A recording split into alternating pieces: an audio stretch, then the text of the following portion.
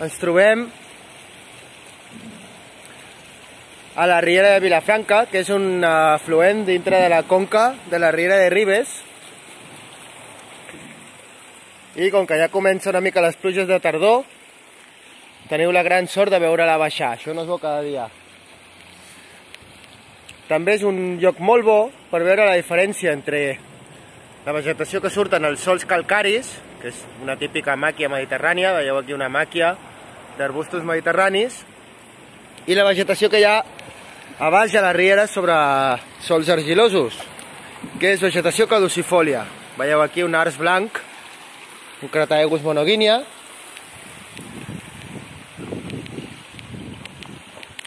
un freixa, de fulla petita,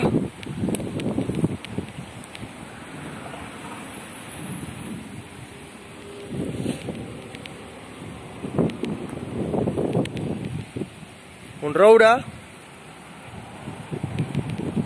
en aquest cas es tracta d'un roure híbrid, segurament entre faginea i fulla gran, o entre faginea i martinenc, tant un cerroides.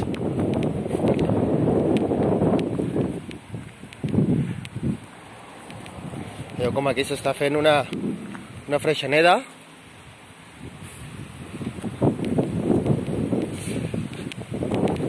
L'esbarzer també formaria part d'aquestes comunitats caducifòlies pròpies dels boscos de ribera. Són plantes amb les fulles amples, que és una adaptació a la humitat, a l'aigua. I una espècie que us volia ensenyar, també típica caducifòlia dels boscos de ribera, és el saúc, Sambucus nigra. Aquí veieu les fruites del saúc, molt apreciades pels ocells, pels rosegadors, per les guineus.